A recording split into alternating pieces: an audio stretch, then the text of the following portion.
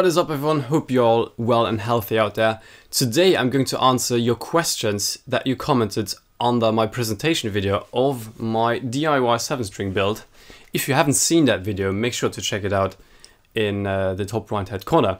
So let's dive into the questions that you had about this guitar. What was the process with clear coat finish? I recently finished the guitar, but it's not all smooth. Sad smiley. I sanded the guitar to 320 grit sandpaper. I then applied Crimson Guitars uh, finishing oil, which is an oil with hardeners in it. So it's going to build up layer by layer. So it's recommended to do three to four, if not even five, six, seven layers. It's getting more glossy the more layers you put on. So you can control the glossiness. I think I'm going to try a natural finish, you know, tung oil or some other natural finish uh, for my next build, which also is going to have a swamp ash body. Now, I should have used probably some, some grain filler uh, beforehand because, you know, it really sucks up a lot of oil, uh, especially on the sides. And uh, it it feels it feels open pore finish, which is nice, but to really get you know that satin glossiness, um, pore filler would have been useful here. So yeah, maybe on the next one. Hey, where did you order the wood? The top looks stunning. It does look stunning. I've ordered all the woods for this build uh, from Soller Guitars uh, from Slovakia, which is a very, very nice wood shop. The advantage of that shop is that you can, you know, you can view the exact blanks that you are buying so if you're buying a top, for example, I think it's important to see the top, to see the actual top that you're buying. So you know exactly what you want and uh, you will get what you see, which is really nice. Now, another place where I like to buy woods is from guitarsandwoods.com, uh, which are based in Portugal. Also very nice. They have very, very affordable blanks which I would recommend if you're building your first guitar or second guitar. The only thing is you will not see the exact piece of wood that you're getting, which is a compromise, I think. For the price, it's alright. So if you're just buying basic blanks, you know, a hard maple neck, ebony fretboard, something like that, uh, where the grain doesn't really matter that much, uh, I think it's alright. That's awesome, man. I've always had the desire to make my own guitar, but I've always thought it might be far outside my skill set. For someone who struggles with mathematics in general, would it be too hard? Excellent work, dude. For real. Thank you so much, Robert. I thought too it was too hard to do, but it's not. Um, the thing is, take your time, take your measurements, don't rush anything, don't do anything without knowing the outcome or the reason why you're doing it. So it's not about, you know, oh, let's try this and oh, now I ruined it. You know, it's not about this. It's about, okay, what, what do we need to do? Take your time. Guitar building is not that much about math, to be honest.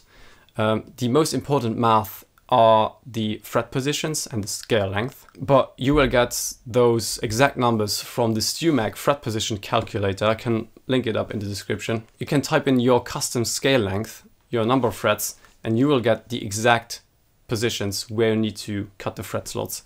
Other than that, the body shape, the body thickness, uh, where you carve away a bevel, that's all aesthetics and ergonomics, but it's not really mathematical. What string gauges are you using? I have the same scale length 7 DIY build, but even with a 62 on the low B string, going below an A is still rather, floppy. I've used an 11 to 64 Boomers set, a very affordable 7 string set, which works fine, to be honest, for drop G sharp that I have the guitar in now. I prefer to have a bit more, you know, control over the string. I, I like I like them floppy. Why small frets? Good question. Why not? It was a bit of an experiment to use small frets because people always praise in reviews or so. sorry, always pra oh, people always praise jumbo frets in reviews and demos and you know guitar videos, but they never really say why. So I wasn't, I was never sure why are jumbo frets nice. Why are they better than, let's say, vintage small frets? And then I've come across instruments like, I don't know, Dingwall basses, which have huge, massive strings, but they have small frets. So my theory about, you know, having big string gauge and big jumbo frets is wrong, or is not applicable. I think the only difference is is the feeling. So if you have small frets, your finger is closer to the fretboard or almost touching the fretboard with the string if you press down. Um, if you have a very big fret, you will be far away from the fretboard. So th that is the difference in feeling. Um, and I wanted to see for myself, how does a seven string with small frets feel? And it feels rather nice, I must say. I like jumbo frets, but I feel like small frets are underrated. I can always refret this with jumbo frets if I want to. Um, but yeah, for now, I think it's cool. It's, it was a nice experiment. Dude, how much do you want for it? I'll buy it. I want it. Yeah, so about the uh, selling thing that I was talking about in the last video, I don't think it does make much sense selling this guitar. I don't know, because because of the flaws, and uh, I figured it doesn't make any sense, logical sense for, let's say, for my business if I choose or if I make a business to you know put something into the world that is not perfect. So I don't want to sell something that I'm not 100% uh, you know convinced by myself. I I am so proud of this instrument. Don't get me wrong, but I know the issues that it has and I know that I as a customer would not like these issues regarding the fact that it's built in the basement, that it's my second build. I don't know, it's just there shouldn't be those issues if you are buying a guitar. And you know, I, I can't just throw this away for, I don't know, 300 bucks or so. Doesn't make any sense. So this is going to be a prototype forever. I will start selling guitars at some point. Now, if you've been following me on Instagram, you know that I've been thinking a lot about launching my own custom shop at some point. I am working on my next prototype and if that turns out the way I want to, I might think about you know making this to my production line custom shop guitar. Uh, it's a headless model. Here's the sketch by the way, or the render. This is going to happen probably, hopefully, uh, but not until next year or even in one two years uh, because I really want to nail the quality before putting out anything. So yeah, looks great, very inspiring. How much does it weigh? Very good question. And uh, I had to weigh it myself to know the exact figure. It feels super, super light. That Swamp Ash Blank was already very, very light. And uh, this is probably the lightest 7 string that I've held in my hands. It weighs 3.2 kilograms, which is extremely light for a non-headless 7 string. So it's a really porous uh, Swamp Ash Blank. So yeah, I'm really happy that it's so light. I like light guitars. It's the exact opposite of my first build, which weighed over 4 kilograms and it's super, super heavy. For an extra question, do you find the spoke truss rod adjustment wheel to be better? It seems like it makes it a lot easier than trying to fit the truss rod adjustment at the top. Also, how did you cut the little thumb rest under the nut? Spoke wheel, truss rod adjustment, absolutely amazing and uh, super useful. Now, I know you're not adjusting the truss rod every day, but if you do, it's a lot less of a hassle. You don't have to take off the cover, you don't have to, you know, reach with the Allen wrench somewhere under the strings or between the strings and find, you know, where the nut is. I don't know, it looks cool. And it wasn't that much uh, additional work, to be honest. The only thing I was, you know, wondering about is uh, the truss rod is sitting at a different place. So I think it's 44 millimeters long. So let's say, I don't know, up to here somewhere. And uh, if you would put it up there, the adjustment, it would sit here. So it would have a different effect on how the neck is responding to your adjustment. But so far I could not tell anything negative about this. This neck is totally adjustable like any other neck. I was also a bit concerned um, because of the scale length. I think if you are building a baritone like 28 inches, you might consider a bass truss rod. So it really sits at the most length of, of the neck. So uh, you don't get a weird crooked adjustment. Uh, oh yeah, that, that uh, thumb rest you're talking about, if you mean the volute here, this just automatically happens if you carve away the neck here and leave this this uh, straight surface here. So it, it helps to prevent headstock cracking.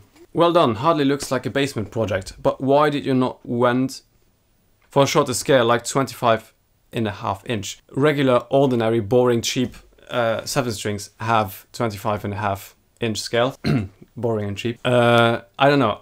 I I like extended scales because you can use thinner string gauges for the same tunings uh, and have your, your tension, basically. Yeah. Second part of the same question. I know nothing about guitar making, but this looks also quite chunky. Yes, very good point. Someone else also pointed that out. I have to admit myself, it does look thick. It does look really chunky.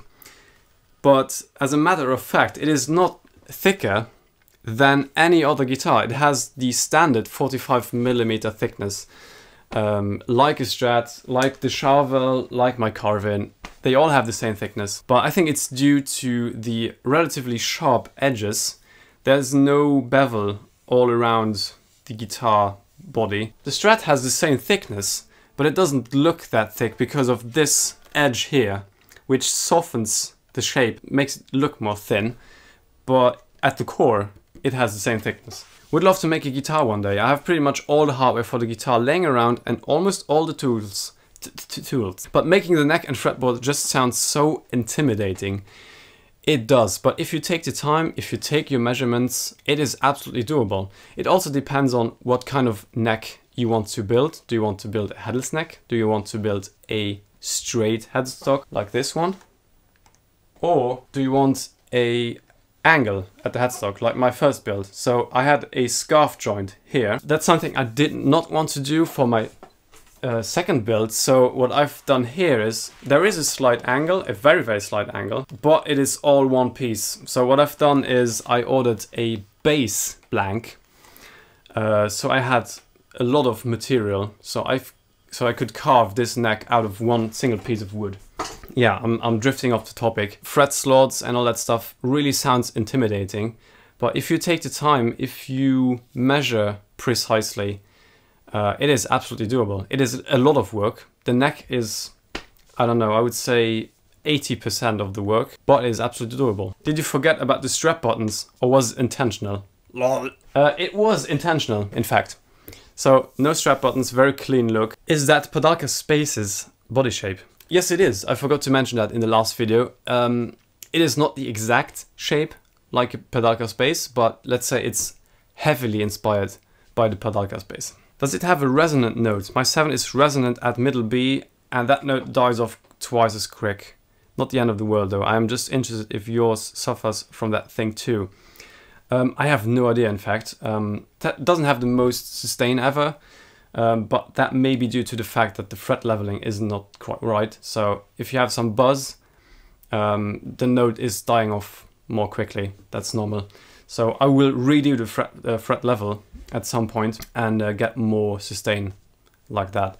But I haven't really noticed that it has a resonant note. I think just the open G sharp is really nice and gnarly. So yeah, that's all, that's all I can tell you. All right, so much uh, about most of your questions. Uh, if there's still something you want to know, make sure to comment under this video. I'm still very, very happy with the outcome of this, uh, of this build. I'm looking forward to build my third guitar. That build is going to be documented. Um, this was more of a background project for myself. The next one is going to be a proper project for the channel and for you guys. Yeah, it's going to be a lovely journey. So if you like this guitar, if you like what I do, make sure to subscribe to my channel so you're not going to miss the upcoming uh, video series about my headless build. Yes, going to be headless. As always, at this point, I want to thank my patrons for supporting me and my channel. Thank you so much, guys. It really means a lot. If you are interested in having some goodies and candies, like chord sheets and tabs to my original songs by No Ostriches, uh, make sure to head over to my Patreon page. Thank you so much for watching this video. Take care, stay healthy, and uh, I will see you next time.